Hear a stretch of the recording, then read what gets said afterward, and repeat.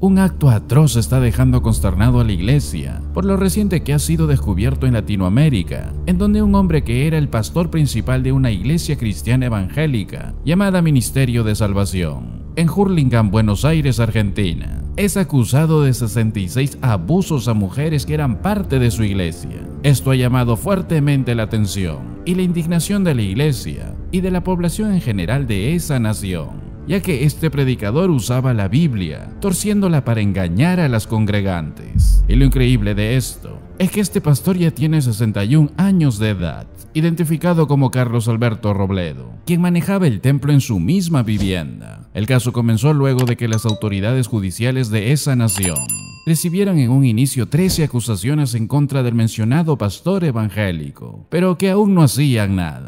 Luego se añadió más denuncias y las investigaciones siguieron diligentemente, en donde se presume que manipuló en más de 66 ocasiones a las congregantes de su iglesia, que por lo general todas ellas eran menores de 22 años de edad. Luego de revisar su domicilio y la iglesia, se encontraron pruebas aterradoras de su manipulación. Él decía a las mujeres de su iglesia, si no se acuestan conmigo, el diablo se apoderará de sus almas. Y cuando alguna de ellas se oponía, les decía que recibirían el castigo de Dios por su desobediencia y por los pecados cometidos fuera de la iglesia. Y también decía estas espeluznantes palabras, que sus pecados se lavarían cuando tengan esos encuentros con este predicador. Y si no lo hacían, decía que iba a arruinar a su familia, todo por ser una hija de Dios que no quería dejar sus pecados. Según las investigaciones, muestran que este predicador cometió estos hechos diabólicos desde el 2020 en adelante. Este predicador era conocido bajo el apodo de Tino, en la localidad de Villa Tesey, en donde según algunos pobladores dicen que este hombre generaba temor. Además manifiestan que tenía un fuerte dominio sobre las congregantes a las cuales manipulaba. En el celular de este predicador hallaron pruebas contundentes de las cosas que escribía hacia los congregantes lo cual es otra prueba más para que sea juzgado por las autoridades de la región en los próximos días. Sin duda es un hecho muy indignante lo que está llamando poderosamente la atención en las últimas horas. Jesucristo nos advirtió de esto, y la única manera de poder detectar a estos falsos predicadores solo es a través de su palabra. Lo hemos insistido a lo largo de los años, pero lastimosamente existen miles de miles de creyentes que creen en los engaños, que creen en las manipulaciones de muchos predicadores para obtener algún beneficio de las ovejas. Sabemos que Satanás es un ángel de luz, y él se disfraza como un ángel de luz, y sus ministros también se disfrazan como ángeles de luz.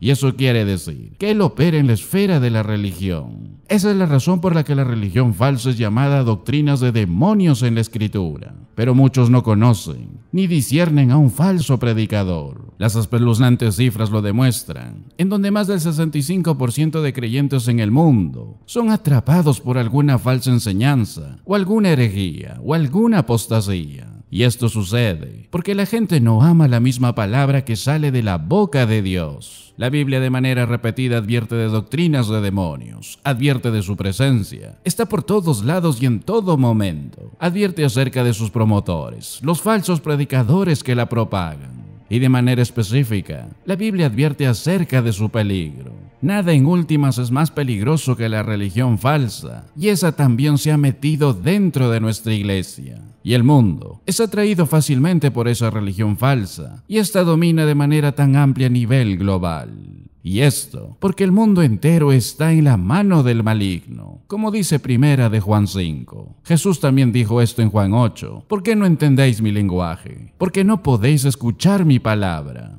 Vosotros sois de vuestro padre el diablo, y los deseos de vuestro padre queréis hacer. Él ha sido homicida desde el principio, y no ha permanecido en la verdad, porque no hay verdad en él cuando habla mentira. De suyo habla, porque es mentiroso y padre de mentira. Y a mí, porque digo la verdad. No me creéis. El que es de Dios, la palabra de Dios oye. Por esto no las oís vosotros, porque no sois de Dios.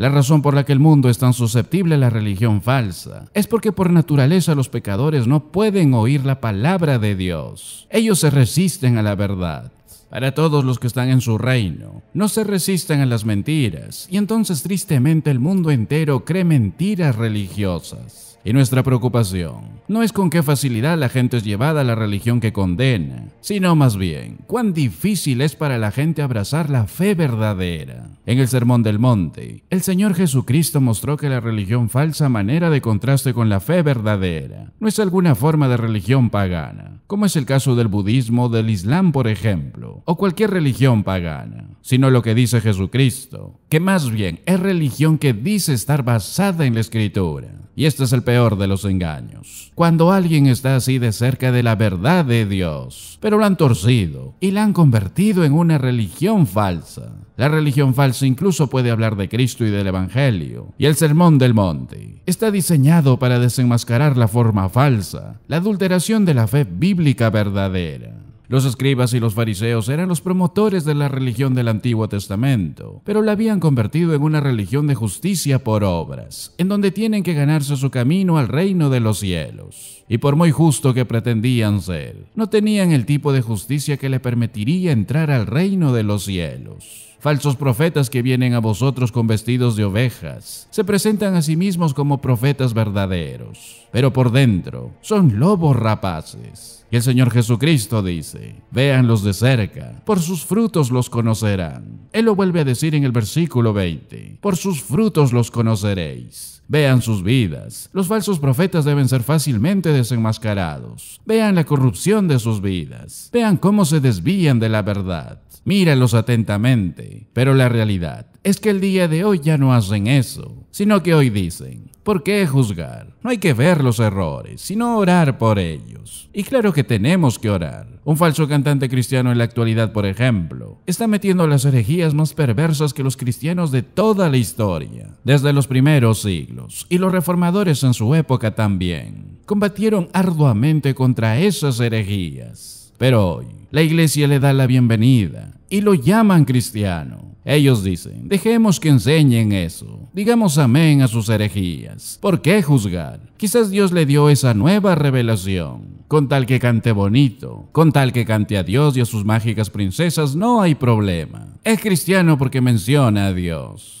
Pero el pasaje es claro aquí. Aquí no está comparando el cristianismo con el hinduismo. Esto es ver a la religión falsa, comparada con la fe verdadera cuando ambas dicen ser bíblicas. Puedes estar cerca de la fe verdadera, del cristianismo, y estar en el camino espacioso que lleva a la perdición. El Señor está hablando a hombres y mujeres obsesionados con la religión, obsesionados con la fe. Eran religiosos, pero iban camino al juicio. En las palabras de Pablo, tenían una forma de piedad, pero sin el poder. Son presentados en el Nuevo Testamento no solo como engañadores, sino también como autoengañados. Y eso todavía es una realidad en la actualidad. Hay gente como los escribas y los fariseos conectados con la fe correcta, conectados con alguna forma de cristianismo, pero totalmente carentes de la justicia verdadera de Dios. Tenemos multitudes de almas engañadas en las iglesias que se identifican con Jesús, que piensan que debido a que han hecho alguna profesión para identificarse con el cristianismo, ellos dicen que todo está bien. Pero nuestro Señor se dio cuenta de lo mortal que es este engaño, y esa es la razón por la que el primer sermón presentado en las Escrituras está advirtiendo cuán cerca puede estar alguien a la verdad, y aún así, dirigirse a la destrucción eterna por el camino espacioso. Y como cristianos, ¿qué estamos haciendo al respecto? ¿Acaso debemos de estar brazos cruzados viendo cuántas almas son engañadas por los falsos maestros? Creo que no. Estas noticias deberían conmovernos y deberían animarnos a proclamar la verdad de Dios con mayor denuedo, para que si Dios quiere, pueda seguir salvando a las almas que deben ser salvadas.